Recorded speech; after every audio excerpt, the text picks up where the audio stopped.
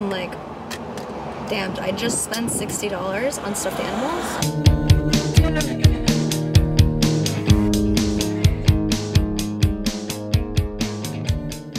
Hi guys, I am sitting on the floor of my dining room. Why? I just like the lighting in here. Anyways, let's go Halloween hunting. This is my first ever YouTube video, like full length one, other than like my embarrassing gymnastics videos when I was in like sixth grade. But anyways, keep it rolling. Um, yeah, we're gonna go Halloween hunting.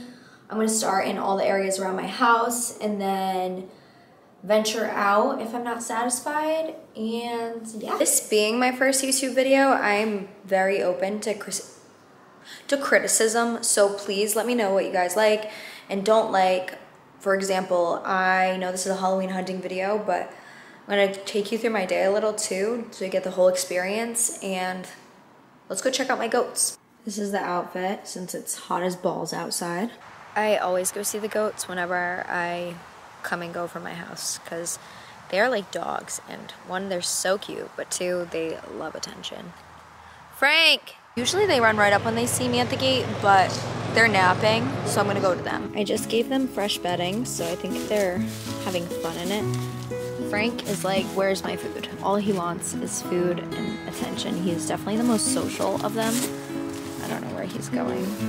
And then that's Marla and Darla. This is the thing about the goats, is like they're too lazy to greet me, but if I leave, they get so upset. They come running over to the gate and they're so sad. And their little cries make me sad, oh, so they make me feel guilty, so I end up hanging out here like all day. Blankets on the beach. Yours is the first face that and Darla's peeing. Bye guys. So I do have the doors off of my Jeep, so I won't be recording in the car just because it gets too loud. Halloween hunting, doors off in the warm weather. It's like I like summer, you know? My first stop will be Cracker Barrel because already been there. It's got great stuff and it's like literally two minutes from my house. Anyone's curious, I have the one touch top and I press a button and it rolls back. Let's go. First stop, Cracker Barrel. I just love how it's completely my aesthetic in here. It's traditional Halloween with a lot of like vintage inspired Halloween items thrown in.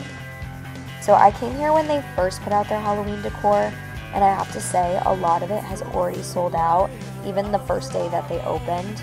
And I know that sucks for a lot of people because most people start shopping in September. I'm not most people, but they also had Christmas stuff guys out, which I guess we'll show at the end. But they added this Nightmare Before Christmas collection, which was new. I loved the Scooby Doo stuff. And there it is Christmas in July, Grinch, and um, Charlie Brown. Yeah crazy.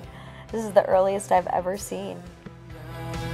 As much as I love Halloween, sometimes I just can't justify the amount of money I spend on it. And especially being an adult and like having a house and like real life things, I'm like, damned, I just spent $60 on stuffed animals. Oh well. Next stop, we're gonna hit Joann Fabrics and Michaels because they're in the same plaza. I always forget that Joann Fabrics is a fabric store, but they have so much stuff and I think they have some of the best stuff.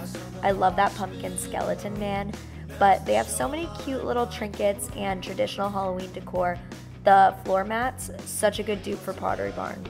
Do you think it's time for some Starbucks? Camera died, so I'm filming on my iPhone but I stopped for a fall drink and I did a grande nitro cold brew. Guys, if you get nitro, I forgot to ask for ice. Make sure you ask for ice. Um, two pumps of brown sugar syrup, one pump of toffee nut, one pump of cinnamon dolce, and caramel drizzle. drizzle. Did I say the two pumps of brown sugar? Anyway, delicious. Tastes like fall in a cup, and it's the next best thing to pumpkin because you can't get that anywhere right now. The last stop today is Michael's, and honestly, they didn't have that much, just a bunch of the Halloween villages, but they were really cute.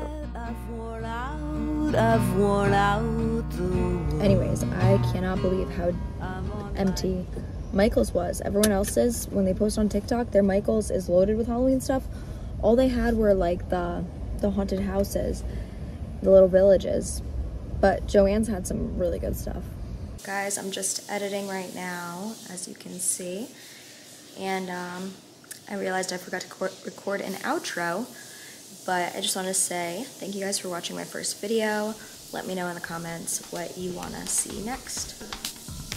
Bye.